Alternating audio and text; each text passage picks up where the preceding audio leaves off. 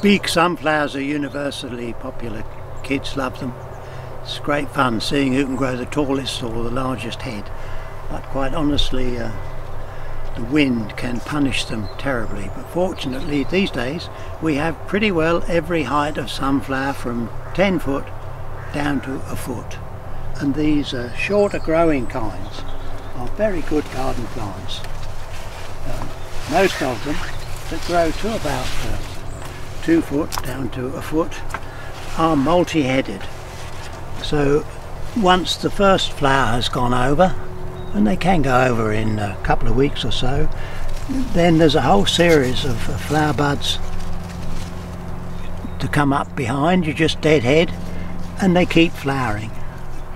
And there's one thing when you sow a row across the allotment or in the veg plot they can come up quite thick and surprisingly even when they're in bud like this they can be thinned out and the thinnings used. You'll need to get a trowel and, and it will need to go in really hard all the way around let's just see if I can show you a bit better there.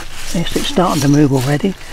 Get right down under it and then you can lift it with a complete ball of soil and all that root. And if you pot that up it will wilt for two or three days. Keep it very well watered in a nice shady place. It will root out and if you have them in pots, these were lifted just 10 days ago. One of the beauty of these, if the sunflowers are facing the wrong way, you know, you just turn the pot round.